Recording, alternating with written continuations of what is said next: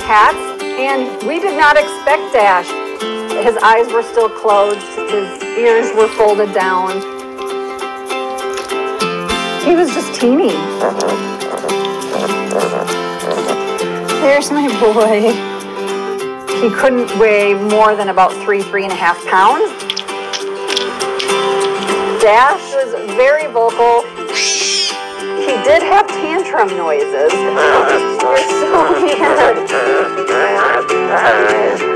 Like a pterodactyl screaming. His life would have been confined to a cage in a roadside zoo or a cub petting operation. So we're thrilled here at the sanctuary that Dash gets to make his own choices. Dash's eyes are just starting to open. Pretty soon we're gonna see those baby blues. Week two, he was a really happy tiger cub. Well, you're four pounds, two ounces. He was starting to roll over. what are you doing? are you trying to roll over? I see you. By week three, Dash went from crawling to walking. Look it! You're walking! he had almost doubled in size. Over here, Dash.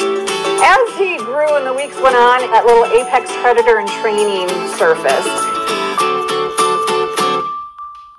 His ears were starting to pop up, his eyes were wide open now. Dash had a tiger toy stuffed animal that he was smaller than and cuddled him, and now he towers over this little stuffed toys. When he was hitting the seven week mark, everything was about playing. Dash would start finding paper towel rolls. He would also tip over his water bowl or just step in it that's when Dash started getting Dash the Destroyer as his nickname.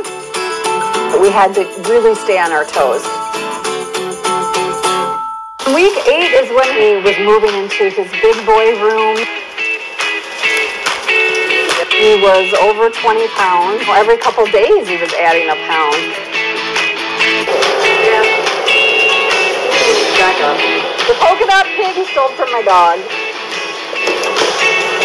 He started seeing everything as prey.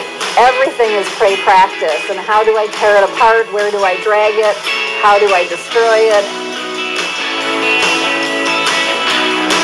The rest is stalk, stealthy tiger, in play mode. Dash is going to get to explore the outside for the first time ever. He came through the chute. He didn't miss a beat. He climbed his perches, he scratched his logs right away.